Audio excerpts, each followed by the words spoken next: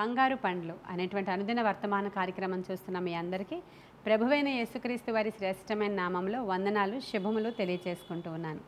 ఈరోజు మన ధ్యాన అంశము రెండవ రాజుల గ్రంథము రెండవ అధ్యాయము పద్నాలుగవ వచనం. ఏలియా యొక్క దేవుడైన యహోవా ఎక్కడ ఉన్నాడు అని అతడు ఆ దుప్పటితో నీటిని కొట్టగా అది ఇటు అటు విడిపోయినందున ఎలీషా అవతలి ఒడ్డునకు నిలిచిపోయాను. ఈ సందర్భం ఏంటంటే ఏలియా ఆరోహణమై వెళ్ళిపోతూ ఉన్నప్పుడు దేవుని యొక్క పిలుపును అందుకొని ఏలియా అగ్ని రథముల మీద ఆకాశానికి కొనుపోబడుతూ ఉన్నప్పుడు ఆయన శిష్యుడైనటువంటి ఏలియా ఆయనను వెంబడించిన సందర్భం. తండ్రి నా రథములు రౌతులు నీవే నేను కూడా నీతోనే వస్తాను అని ఏలియాని వెంబడిస్తూ వచ్చేసినటువంటి సందర్భాన్ని చూస్తాం మనము. ఈ రెండవ రాజుల గ్రంథం రెండవ అధ్యాయం మీరు తర్వాత చదవండి. ఆయన ఎక్కడికి వెళితే అక్కడికి ఎలీషా వెంబడిస్తూ ఉన్నాడు. అప్పుడు ఏలియా అడుగుతున్నాడు నేను వెళ్ళాల్సి ఉంది నువ్వు వెనక వెళ్ళిపోని ఎంత చెప్పినా వినకుండా మరలా ఇదే మాట మాట్లాడతాడు. తండ్రి నా రథములు రౌతులు నీవే అని వెనక్కి వెళ్ళినప్పుడు నీకేం కావాలి అని అడిగినప్పుడు ఎలీషా అడుగుతున్నాడు నీవు కలిగిన ఆత్మలో రెండు పాళ్ళు కావాలి నాకు అని అడిగినప్పుడు అయితే అది నా చేతుల్లో లేదు నా చిత్తంలో లేదు. నేను వెళ్ళిపోతూ ఉన్నప్పుడు ఇదిగో ఈ విధంగా జరిగినట్లయితే నీవు అది పొందుకున్నట్లని ఒక సూచన చెప్తాడు ఆయన. అయితే ఆయన వెళ్ళిపోతాడు. ఆయన వెళుతూ ఉన్నప్పుడు ఆరోహణమై వెళ్ళిపోతూ ఉన్నప్పుడు ఆయన కంబళి ఆయన కప్పుకున్న దుప్పటి ఎలీషా మీద పడినప్పుడు క్రింద పడినప్పుడు ఆ దుప్పటి చేతిలో పట్టుకొని యోర్ధాను యువతల ఉన్నటువంటి ఎలీషా యోర్ధాను నది మీద కొడుతూ ఈ మాట పలికినటువంటి సందర్భం అండి అది. ఆయన దుప్పటిని తీసుకుని యువర్ధాను నది మీద కొట్టి ఈ మాట పలుకుతున్నాడు ఏమనంటే ఏలియా దేవుడు ఎక్కడున్నాడు? అనేటువంటి మాట. ఏలియా దేవుడా అనేటువంటి మాటతో దేవుణ్ణి సంబోధిస్తున్నటువంటి ఒక పదాన్ని మనం ఇక్కడ చూస్తున్నాం. ఈరోజు మన ధ్యానాంశము అదే. దేవుడు మన దేవుడు ఈ భూమి మీద ఉన్నటువంటి మనుష్యుల పేర్లతో ఆయన దేవుడుగా పిలువబడినటువంటి సందర్భాలు మనం చూస్తాం. అంటే ఉదాహరణకి అబ్రహాము దేవుడను నేను అనే మాట. అబ్రహాముకి స్నేహితుడను నేను అని చెప్పుకుంటాడు ఆయన. భక్తులు మాట్లాడేటప్పుడు అబ్రహాము దేవుడా ఇస్సాకు దేవుడా యాకోబు దేవుడా అనేటువంటి పదాలతో మన దేవుడు పిలిపించుకోవడానికి సిగ్గుపడలేదు ఆయన. మన దేవుడు ఆ యొక్క మనుష్యుల పేర్లతో ఆయనని పిలిపించుకోవడానికి వారితో నన్ను పిలుస్తున్నారేంటి అని ఆయన అనలేదు కానీ ఆయన భక్తులు వారి పేర్లు ఉచ్చరించి వారి దేవుడు అని చెప్పడానికి ఆయన చాలా ఇష్టపడ్డాడండి. అలాగే ఇస్సాకు దేవుడని అబ్రహాము దేవుడని యాకోబు దేవుడు అనేటువంటి పదాలు మనము యశ్యా గ్రంథంలో చూస్తాం చూడండి. ఎంత చక్కగా మన దేవుడు భక్తుల పేర్లను బట్టి పిలిపించుకున్న సందర్భాలు చూస్తాం. ఇక్కడ ఎలీషా ఏలియా దేవుడా అని పిలుస్తున్నాడు. ఏలియా ఎటువంటి ప్రవక్త మన అందరికీ తెలుసు. ఆయన దేవునితో ఎలాంటి సంబంధం కలిగిన వాడో తెలుసు. ఆయన మన వంటి స్వభావము గల మనుష్యుడే అని యాకోబు భక్తుడు రాస్తాడండి. ఏలియా మన వంటి స్వభావం గల మనుష్యుడే అయినప్పటికీ ఆకాశము వర్షించకుండా మూతబడినట్లుగా ప్రార్థన చేస్తే ఆకాశము ఎత్తడిగా మూయబడిపోయింది. అలాగే ఆకాశము తెరవబడి వర్షించినట్లుగా ఏలియా ప్రార్థించగా వర్షము వర్షించింది అని లేఖనములో రాయబడి ఉంది. ఈ సందర్భాన్ని యాకోబు భక్తుడు ఏమంటాడంటే మనము కూడా అంటే ఏలియా కూడా మనలాంటి స్వభావము గల మనుష్యుడే. ఆయన ప్రార్థన చేసినప్పుడు ఇలాంటి కార్యాలు జరిగినప్పుడు మనం కూడా ప్రార్థన చేస్తే ఇలాంటి కార్యాలు దేవుడు చేస్తాడు. ఎందుకంటే ఆయన కూడా మనలాంటి స్వభావము గల మామూలు మనుష్యుడే అని. అయితే మామూలు మనుష్యుడే ప్రార్థన చేస్తే కార్యము జరగడం ఓకే అండి. కానీ ఆయన పేరుతో దేవుడు పిలిపించుకున్నాడు. అది ఎంత గొప్ప విషయం కదా. అయితే కేవలం యాకోబు అబ్రహాము ఇస్సాకు ఏలియా ఎలీషా ఇంత మాత్రమేనా? ఇంకెవరైనా భక్తుల దేవుడని ఆయన అనిపించుకున్నాడా అంటే ఈ రోజుకి కూడా మన పేర్లు కూడా పిలిచి ఆయన దేవుడు అనిపించుకుంటూ ఉంటాడండి. ఎంత గొప్ప విషయం అండి షడ్రక షడ్రక్ మేషక్ అభేద్నగో అనేటువంటి భక్తులు ఉన్నారు. దానియల్ గ్రంథంలో మీరు చూస్తారు. రాజు ఒక ప్రతిమను నిలవబెట్టి దానికి మ్రొక్కాలి. ప్రతి ఒక్కరూ రాజ్యంలో ఉన్న ప్రతి ఒక్కరూ ఆ ప్రతిమకి మ్రొక్కాలి అని ఒక ఆజ్ఞ జారీ చేసినప్పుడు ఈ ముగ్గురు యవ్వనస్తులు కూడా ఆ ప్రతిమకి మ్రొక్కము అంటారండి వాళ్ళు. మేము మ్రొక్కము అంటారు.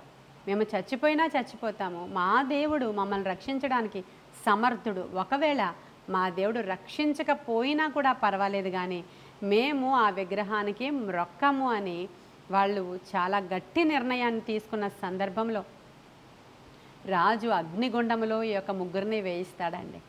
అగ్నిగుండములో అగ్నిని ఇంకా ఎక్కువగా చేసి అగ్నిగుండంలో ఈ ముగ్గురిని విసిరివేసినప్పుడు విసిరివేయడానికి వెళ్ళిన వారు సహితము కాల్చివేయబడ్డారు.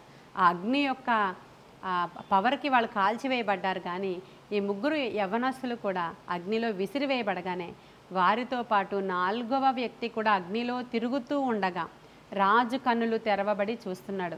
మనము ముగ్గురునే కదా వేశాము. నలుగురు కనబడుతున్నారేంటి? ఆ నాలుగవ వాడు దేవతల రూపంలో ఉన్నాడేంటి?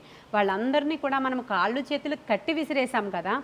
వాళ్ళ చేతులకి కాళ్ళకి బంధకాలు లేకుండా కట్లు త్రెంచబడిన వారే నడుస్తున్నారేంటి అని రాజు అడుగుతున్నాడు. హలేలుయ ఎంత గొప్ప విషయం అండి అంత మాత్రమే కాదు కానీ ఆ రాజు అంటున్నాడు మీ దేవుడు పూజ్యనీయుడు అంటున్నాడు. హలేలుయ షడ్రకు మేషగు అభేద్నగోల దేవుడు పూజ్యనీయుడు అంటున్నాడండి. మీరు దానియల్ గ్రంథంలో చూస్తారు మూడవ అధ్యాయం ఇరవై ఎనిమిదవ వచనంలో.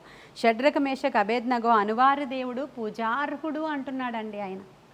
అంటే వారి పేర్లు పెట్టి వారి దేవుడు పూజించదగినవాడు. వారి దేవుడు పూజకు అర్హుడు. వారి దేవుడు మాత్రమే పూజ్యనీయుడు. ఆయనను మాత్రమే ఆరాధించాలి తప్ప ఈ విగ్రహాలను కాదు అని నెబుకెద్నెజర్ డిక్లేర్ చేస్తూ ఈ బిడ్డల యొక్క పేర్లు చెప్పి వారి దేవుడు అనిపించుకుంటున్నాడండి. ఎంత గొప్ప విషయమో ఆలోచించండి. అదే దానియల్ గ్రంథంలో మీరు చూస్తారు. ఆరవ అధ్యాయము ఇరవై ఆరవ వచనంలో అలాగే మరలా ప్రార్థన చేయకూడదనే శాసనము జారీ చేయబడినప్పుడు దానియేలు కూడా దినమునకు ముమ్మారు ప్రార్థన చేస్తూ ఉన్నప్పుడు ఆ ప్రార్థన ఎంత మాత్రము నిలిపివేయకుండా శాసనము జారీ చేయబడిన సంగతి తెలిసినా కూడా మరలా ప్రార్థన చేస్తూనే ఉన్నటువంటి దానియేలును చూసి ఆ శాసనము ప్రకారము ఆ ప్రార్థన చేసిన వారిని సింహాల గుహలో వేయాలి.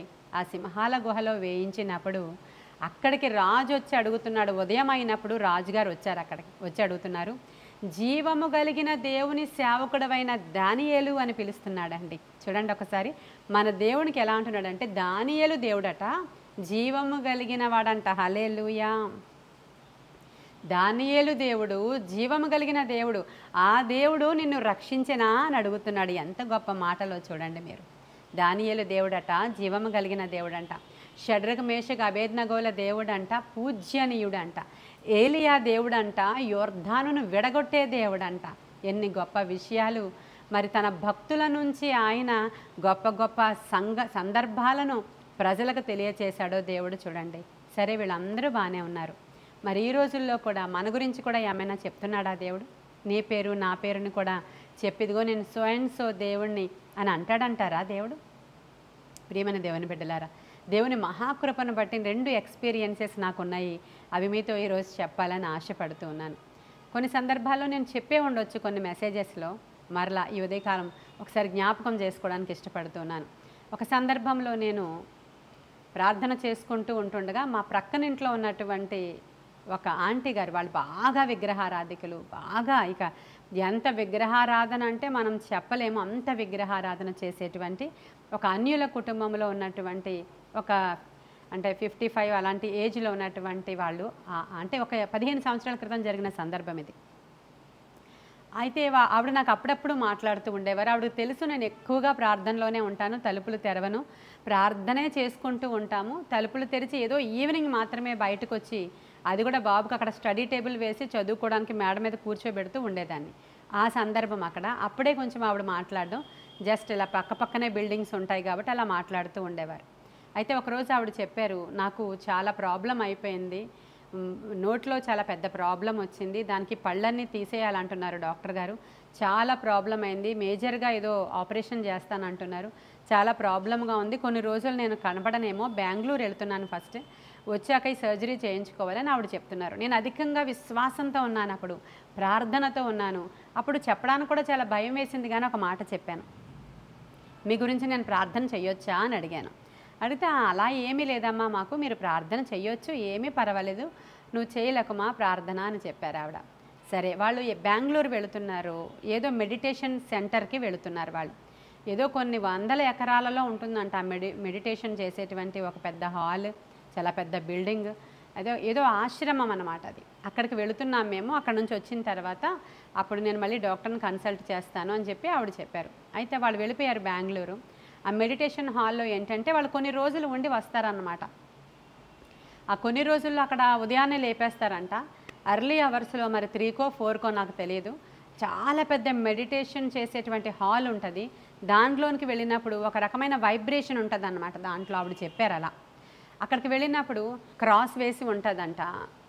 అంటే సగం అర్ధాకారంలో ఉన్నటువంటి చాంద్ ఉంటుంది. అంటే ముస్లిం సింబలు క్రిస్టియన్ సింబలు ఆ తర్వాత హిందూ సింబల్ ఆ మూడు సింబల్స్ అక్కడ హాల్లో వేసి ఉంటాయి అక్కడికి వెళ్ళి ఒంటరిగా కూర్చొని వీళ్ళు మెడిటేట్ చేసుకుంటూ ధ్యానంలోనికి వెళ్ళి వాళ్ళు పర్టికులర్గా ఒక మంచి ఏమంటారు ధ్యాన ఆత్మను పొందుకుని వస్తారనమాట వాళ్ళు ఇయర్లీ వన్స్ అలా వెళుతూ ఉంటారట. వెళ్ళినప్పుడు ఆవిడ ధ్యానం చేసుకోవడానికి చీకటి ఉన్ అంత చీకటిగా ఉంది త్రీ ఓ క్లాక్ మరి ఫోర్ ఓ క్లాక్. ఆవిడ ధ్యానం చేసుకోవడానికి ఆ యొక్క ధ్యాన మందిరంలోనికి వెళ్ళినప్పుడు అక్కడ కూర్చొని ధ్యానం చేసుకుంటూ ఉండగా తెల్లని వస్త్రాలు ధరించినటువంటి ఒక ఆయన ఆవిడకి దగ్గరగా నడుచుకొని వస్తున్నారు కన్నులు మూసుకుని ఉన్నప్పుడు.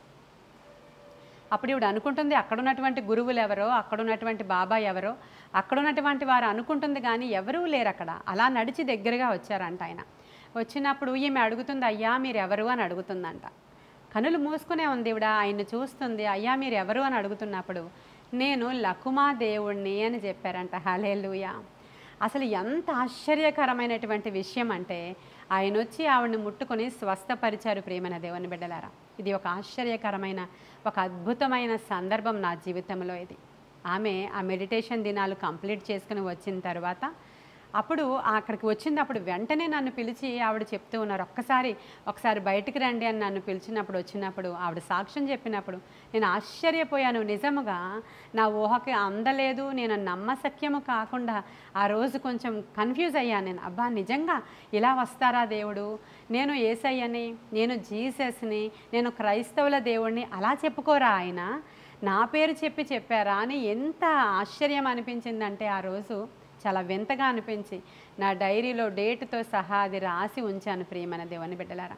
ఆయన చెప్తున్నాడు నేను లక్కుమా దేవుణ్ణి. ఈరోజు మీరు అనేకమైనటువంటి విధానాలలో మీ ఇంటి చుట్టుపక్కల మీరున్నటువంటి సరౌండింగ్స్లో మీ బంధువుల మధ్యలో మీ స్నేహితుల మధ్యలో నిజంగా మనం అనేకుల కొరకు మొర్ర పెట్టే ఆత్మ మనము కలిగి మనము ప్రార్థన చేస్తూ ఉంటే మనము వెళ్ళి ఫేస్ టు ఫేస్ వార్త చెప్పాల్సిన అవసరత లేకుండా దేవుడే కొన్ని సందర్భాలలో వాళ్ళని దర్శిస్తాడు ప్రియమైన దేవుని బిడ్డలారా. కొన్ని సందర్భాలలో వారిని దర్శిస్తారు. అన్ని సందర్భాల్లో కాకపోవచ్చు మనం సువార్త చెప్పాల్సి వస్తుంది. కొన్ని సందర్భాలలో నువ్వు జెన్యున్గా వారి కోసం నువ్వు ప్రార్థన చేస్తూ ఉంటే మన ప్రభు వెళతారు. వెళ్ళి ఇదిగో నేను సో అండ్ సో అని చెప్తారు. వారికి అలా చెప్తేనే కదా అర్థమవుతుంది. వారి దగ్గరికి వెళ్ళి నేను అబ్రహాము దేవుడిని అంటే తెలుస్తుందా? తెలియదు కదా. ఎంత చక్కని సాక్ష్యము నా జీవితంలో అదొక గొప్ప విషయం అది. అప్పుడు నా విశ్వాసంలో నేను బలపరచబడ్డాను. విశ్వాసం వృద్ధి పొందింది. నా పేరు చెప్పుకొని నా దేవుడు నా పేరుని కూడా అసలు ఆయన నోటితో ఉచ్చరించడం ఎంత గొప్ప విషయమని నేను చాలా ఆశ్చర్యపడ్డాను. తర్వాత వేరే ఏరియా మేము వచ్చేసాం. వేరే చోట ఇల్లు కట్టుకొని వచ్చేసాం. వాళ్ళు ఎక్కడున్నారో ఎలా ఉన్నారో కూడా తెలియదు బహుశా ఇదేమైనా వాళ్ళు ఉంటే వాళ్ళు వింటే మరి ఇదేమైనా రెస్పాండ్ అవ్వచ్చు. ఇంకా రెండవ సందర్భంలో మీ అందరికీ తెలుసు మరి నేను వివాహం చేసుకుని వచ్చిన కుటుంబం అన్యుల కుటుంబం అని చెప్పి. అయితే మా అత్తగారు అన్యురాలే. ఆవిడ నియర్లీ ఎయిటీ ఇయర్స్ ఆవిడ జర్నీ చేశారు. అలా బాగా వృద్ధురాలు అయిపోయిన తర్వాత ఆవిడ కొన్ని విషయాలు మాట్లాడుతూ ఉన్నప్పుడు అన్యులుగానే ఉన్నారు వాళ్ళందరూ కూడా. కానీ దేవుని గురించి నేను చెప్తూ ఉండేదాన్ని. మరి మేము రక్షించబడ్డాం. మా ఆడబడిచి రక్షించబడింది. ఇంకొక బావగారు వాళ్ళు రక్షించబడ్డారు. వీళ్ళందరూ క్రైస్తవులు వాళ్ళకి తెలుసు. దేవుడి గురించి చెప్తూ ఉంటే ఆవిడ ఆసక్తిగా వింటూ ఉండేవారు. అప్పుడప్పుడు చెప్తూ ఉండేదాన్ని నేను. అంటే ఆ విషయాలన్నీ కూడా ఆవిడ వింటూ ఉండేవారు అంతే అంతవరకునే. ఇంకా అంటే చ- బాగా వృద్ధాప్యంలోనికి ఆవిడ వచ్చారు. మనుషులు వచ్చినప్పుడు కూడా ఎవరు ఎవరు అనేది కొంచెం ఐడెంటిఫై చేయలేకపోతారు. అంటే వారి పిల్లల్ని ఐడెంటిఫై చేస్తున్నారు. కొత్త వాళ్ళు ఎవరైనా వచ్చినప్పుడు వాళ్ళు ఎవరనేది కొంచెం ఇంట్రడక్షన్ ఇచ్చుకోవాలన్నమాట. అలాంటి సందర్భంలో ఒక రోజు ఆవిడ కొంచెం సిక్గా ఉన్నారు. నేను మా ఆడపడుచు ఇద్దరం కూడా మీటింగ్కి వెళ్ళిపోయాం బయటికి. మీటింగ్కి వెళ్ళిపోయినప్పుడు ఎవరు ఇంట్లో లేరు. అంటే వేరే వాళ్ళు ఇంకా కేర్ టేకర్స్ ఉన్నారు. వేరే కోడలు ఉన్నారు వేరే కొడుకున్నారు అందరూ ఉన్నారు ఆవిడని చూసుకోవడానికి. కానీ ఆ రోజు ఆవిడ కొంచెం బాధగా ఉన్నారంట. అయ్యో నన్ను అందరూ విడిచిపెట్టి వెళ్ళి ఏంటి మీటింగ్ ఎక్కడికో వెళ్ళిపోయారు లేదు మాడబడుచు గురించి ఆవిడ ఫీల్ అవుతూ ఉన్నారంట. ఈ సందర్భంలో ఆవిడ దగ్గరికి ఒక ఆయన వచ్చారు. వచ్చి కూర్చున్నారు. ఏంటి సంగతులు? బాగున్నారా? వాళ్ళు మీటింగ్కి వెళ్ళారు కదా. వాళ్ళు మరి నా పని మీద వెళ్ళారు కదా. కాబట్టి ధైర్యం తెచ్చుకోవాలి. నేను ఉన్నాను కదా నీకు అని మాట్లాడుతున్నారంట ఆయన. అప్పుడు ఆవిడ అడుగుతుందంట ఎవరు బాబు మీరు? ఎవరు మీరు? నేను ఆన్వల్ కట్టలేకపోతున్నాను మిమ్మల్ని అని అడుగుతున్నప్పుడు ఆయన చెప్పారంట నేను లకుమా వాళ్ళ డాడీని అని చెప్పారంట. హలేలుయా చెప్దామా? లకుమా వాళ్ళ డాడీని. మా ఫాదర్ రాజమండ్రిలో ఉంటారు. ఆ మా ఫాదర్ అప్పటికి వృద్ధులు కానే కారు మా మా డాడీ అప్పటికి రిటైర్ అవ్వలేదు కూడా. ఇది కూడా పదిహేను సంవత్సరాల క్రితం మ్యాటర్. రిటైర్ అవ్వలేదు అప్పటికి ఇంకా. అయితే ఆవిడ చెప్తున్నారు తెల్ల డ్రెస్ వేసుకొచ్చారు మీ డాడీ. తెల్లగా ఉన్నారు చాలా హైట్ ఉన్నారు. ఆయన వచ్చి నా దగ్గర కూర్చున్నారు ఇప్పటి వరకు కూర్చున్నారు. ఇదిగో మీరు వచ్చిన తర్వాత ఆయన వెళ్ళిపోయారు బయటికి అన్నారు. ఎవరైనా అని అడిగితే మీ డాడీ అంట చెప్పారు? లకుమా వాళ్ళ డాడీ అని చెప్పారమ్మా అని చెప్పారు ఆవిడ. చాలా ఆశ్చర్యం అనిపించింది. ఆ తర్వాత ఆవిడ మారు మనస్సు పొందారండి. అవి స్ప్రింకిల్ బాప్తిస్మం తీసుకున్నారు ఆవిడ. తర్వాత ఆవిడ నిద్రించారు అది వేరే సంగతి. కాబట్టి ఇలాంటి అనేకమైనటువంటి విషయాలు మన దేవుడు మనకి ఎంత సమీపముగా ఉన్నాడో అబ్రహాము దేవుడు ఇస్సాకు దేవుడు యాకోబు దేవుడు మన పితరుల దేవుడు మనతో ఉన్నవాడు. ఆయన మన దేవుడు అనిపించుకుంటున్న మహా గొప్ప దేవుని యొక్క సన్నిధిలో మనము నిలిచి ఉన్నాం కాబట్టి ధైర్యం తెచ్చుకుందాం. ఆయన గొప్ప కార్యాలు చేస్తాడు. ప్రతి విషయంలో జోక్యం చేసుకుంటాడు. మీ పక్షముగా ఆశ్చర్యమైన కార్యాలు చేసి వారి దేవుడు గొప్పవాడు అనిపించుకునేలాగా మిమ్మల్ని విడిపిస్తాడు. ఈ కొన్ని మాటలు దేవుడు మన వెనికిడిలో దీవించునుగాక. ఆమెన్. ప్రార్థన చేసుకుందామా? మహాపరిశుద్ధుడైన తండ్రి మహోన్నతుడవైన దేవ మహాపరిశుద్ధుడైన తండ్రి మహోన్నతుడవైన దేవ నిత్య నివాసి సత్యస్వరూపి నీకు వందనాలు. జీవాత్మ దైవాత్మ నీకు వందనాలు. గొప్ప కార్యాలు జరిగించేవాడా నీకు వందనాలు. ఆశ్చర్యకరుడా నీకు వందనాలు. వినుచున్న వారందరి హృదయాలలో గొప్ప విశ్వాసము రగులులాగున వారి దేవుడు ఎట్టివాడో తెలుసుకునేలాగున వారి పక్షముగా ఆశ్చర్య కార్యాలు జరిగేలాగున వారి జీవితాలలో గొప్ప మేళ్ళు కృమ్మరించబడేలాగున వారి జీవితాల్లో గొప్ప ఉపకారాలు జరుగులాగున సమీపముగా ఉండి నడిపించి మీరు మహిమ పొందుకోమని. ఈ ఉదయకాల సమయ దీవెనలు బిడ్డలతో అయా నిండుగా కృమరించమని. ఏసయ్య శ్రేష్ఠ నామంలో అడుగుచున్నాము తండ్రి. Amen amen. God bless you.